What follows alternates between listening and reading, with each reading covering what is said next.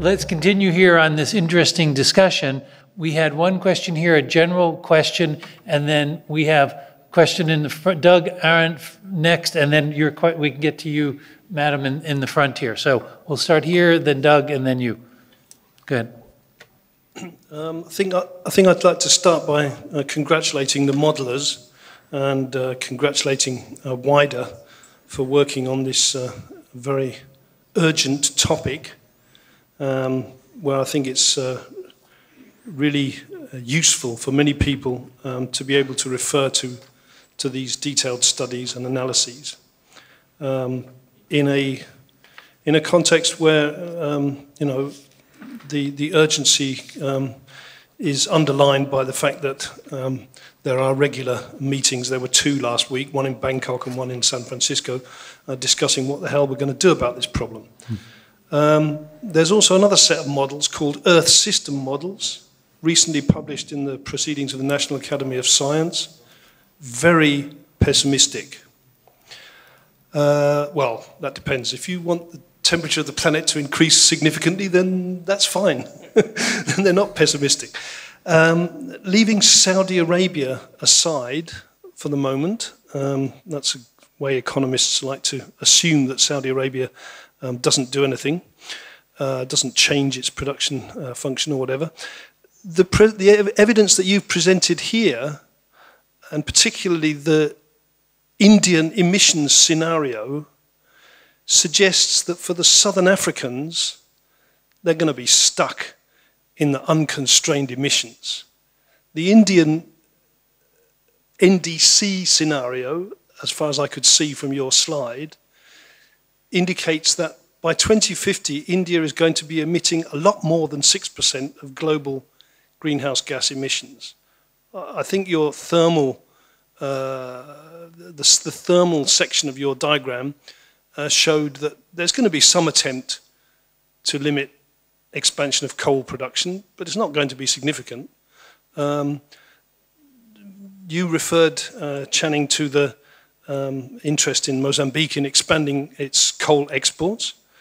Um, that's another, another um, unknown in the equation so my question really is, I mean, the scenarios that you've that you've put forward for low emissions, aren't they actually hopelessly unrealistic, given the given the trends in, in, in emissions that are actually being tabled in international negotiations? The Indian scenario, the Indian emissions are what the Indian government formally puts forward in an international negotiation as what the Indians are intending to do. We have a problem.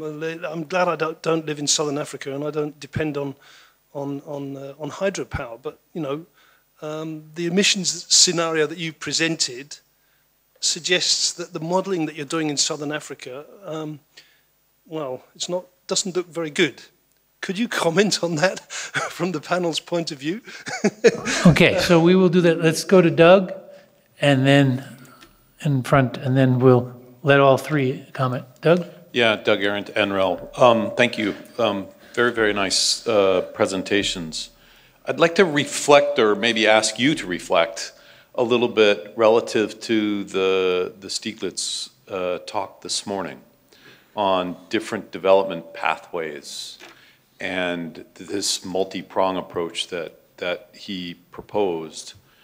Uh, and also bring into it much more strongly the, the climate, environmental sustainability aspect, which was the question I had asked him.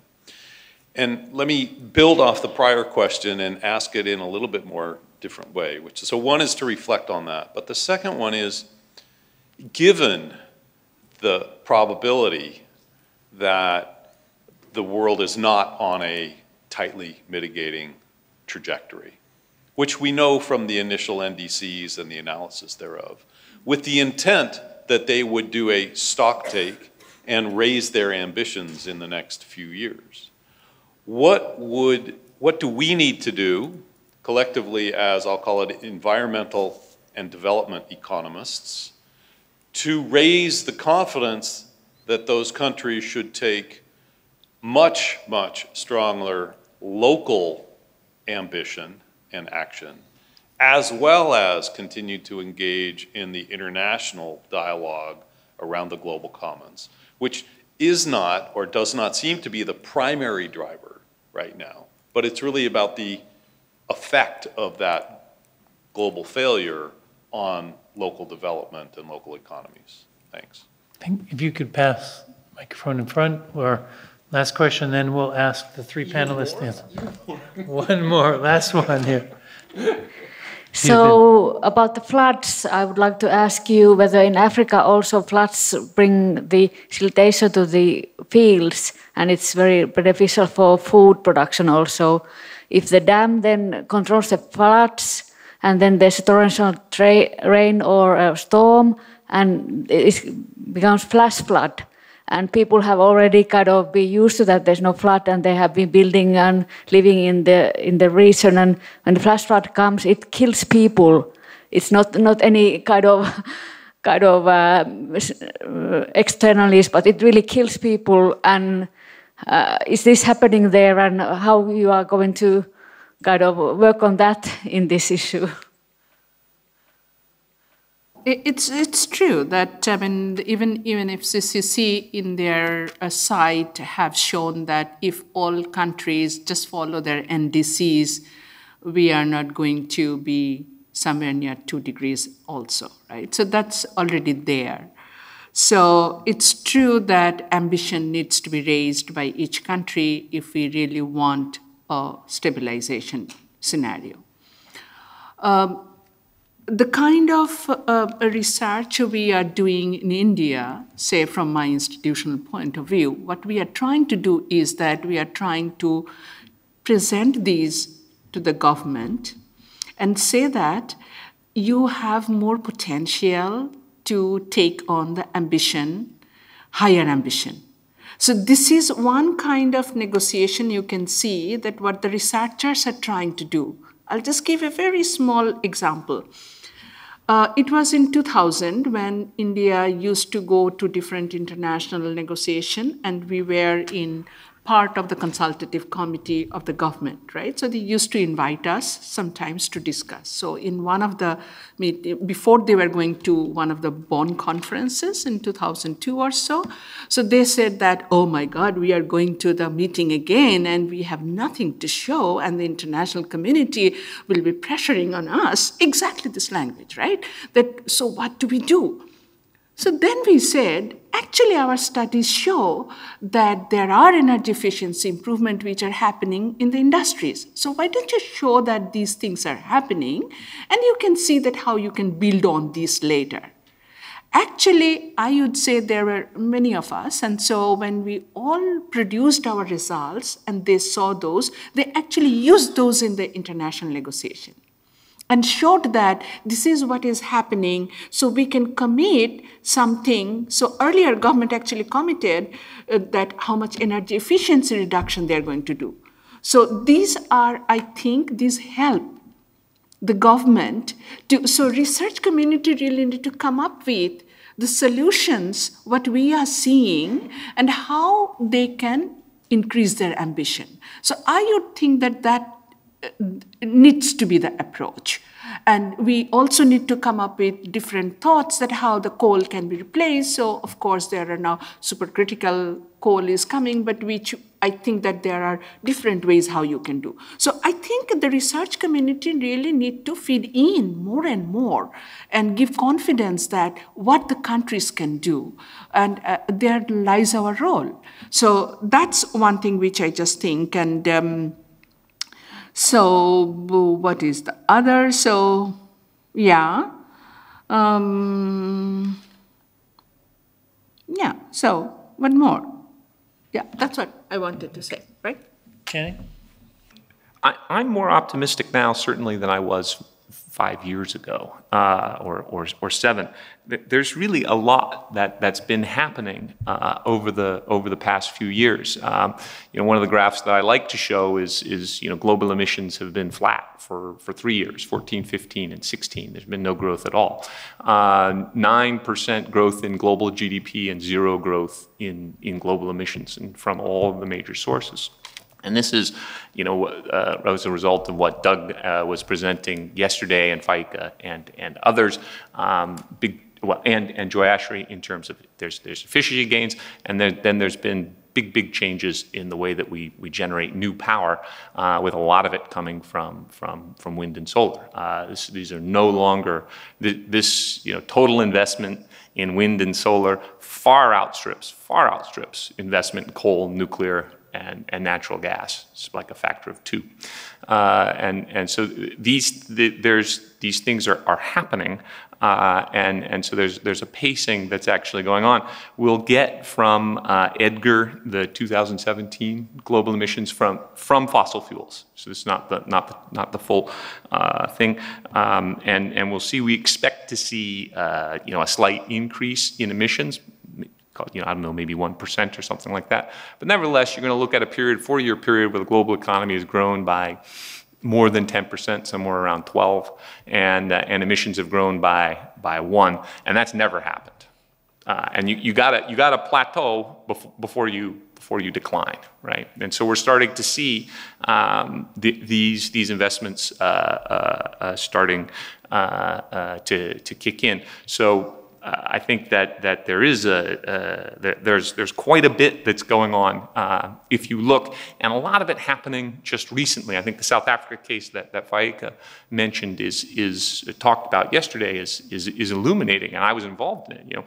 Eight years ago, it was coal as far as the eye could see, and we talked about, oh, here's what you have to give up in order to to reduce your your emissions, and uh, and then we've been working, and, and we, we, South Africa is very well endowed with sun, it's very well endowed with wind, uh, and it's had done quite a bit uh, of analysis. And over the past three years, um, we, we've come around where, where basically there's a, a, recognition that, that wind and solar are you know, going in, basically no more building of, of solar power, uh, of coal-fired power plants, uh, and, and the retiring of each one as it, as it ends the, uh, its useful life is the optimal, uh, sort of the least cost uh, uh path. And, uh, and, and, and, and, then, and then, you know, so instead of arguing that you know we need this in order to grow. You know the, the arguments are now, oh well, we can't afford to leave coal because uh, of the social impacts in coal-producing regions, and we're going to lose all these mining employment and, and so on and so forth. So I think you know th that's a research agenda. I think that's a very similar agenda in in India. Uh, part of the good news is that you know where we need uh, the new power is where renewables are actually quite good. Uh, and developing world is you know does pretty well in terms of sun, and it does pretty well often in wind. Uh, so, uh, you know, you would rather, if you had to generate your power via sun and wind, you'd rather be in most developing countries than you would in Finland, for example, especially if you were only dependent on sun. Um, so this, is, uh, this is different. Uh, how this fits into different development pathways, uh, I think it, it's something that, that we need to, to think about. Certainly for large dispersed economies like uh, you, you have in, in Africa, um, the, the, the availability of really quite low cost solar mini grids is, is potentially a, a, a huge gain. You're looking at uh, many, many regions, parts of Africa where you know they just they, they, don't have access to electricity, and stringing wires all the way out there is going to be um, quite quite difficult. Uh, if you can get relatively low cost uh, uh, mini grid systems out there, then then you know you, you can start to do a, a different kind of, of development uh, uh, paradigm. It does you can't just dump mini grids out into the rural areas, right? I mean, if you know if I you know, subsistence household, just kind of living, uh, and you give me a mini grid, then you know, I, what am I going to do? I don't have, I, mean, I don't have a cell phone, I don't have a, I don't pump, I don't have anything where I use the electricity. So there's a, there's a whole integrated process that, that, that needs to go on, and and and I think that um, uh, it does fit quite nicely with what uh, Joe Stiglitz was was uh, uh, talking about. Um, so that I'll, I'll leave. Uh, I think I've done that. On, on, the, on the flooding point, yes, natural flooding, you know, obviously. But what, what we're talking about here is you know, repeated greater than 50 year events, right? Which, which these are, these are big. Uh, or, or up to up to 100. And uh, you know, if you're getting in, if the, you know, what used to be a 50-year flood becomes a 10-year flood. That's a real change. Uh, and, and there's a lot of room for adaptation there uh, in terms of, because a lot of the impact that we get is repeated washing out of infrastructure, especially road infrastructure, which in Africa is quite vulnerable as spaces are large. You generally don't have a lot of repetition of roads. You don't build two roads out. Uh, uh, so they're, they're, they're vulnerable to, to washout. It costs a lot per kilometer to build those roads. And if you're out there repeatedly building them, repeatedly building, trying to re redo bridges, uh, it's, it's going to cost you. Now, um, what needs to happen, and this is a you know, real conclusion coming out, is you need to build your roads a little bit higher up. Uh, so that you're, you're not as vulnerable uh, as, as, as you would be. Um, uh, so that, that's, and I think you know, people are, are starting to take that into account very small uh, addition. When we were talking about like uh, the question which Doug um, uh, raised is that uh, when uh, uh, when Stiglitz was saying, it was very interesting. He said that what we really need to look into is multiple sectors. And we need to address the multiple sectors simultaneously, how, how they, those can be addressed. And if you look into the SDG framework of till 2030, it actually gives you multiple entry points. So basically, when you are really looking into any of the mitigation option, we need not be thinking of only one mitigation option. Many model studies now show that you really need a portfolio approach.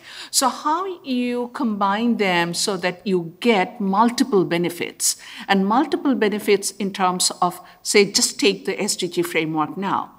So if you think in that way, then you can think in terms of your uh, short-term development pathways, which fits into the longer term. And so just not looking into the mitigation, but also the multiple benefits, and which can encourage the governments to uh, adopt multiple measures together.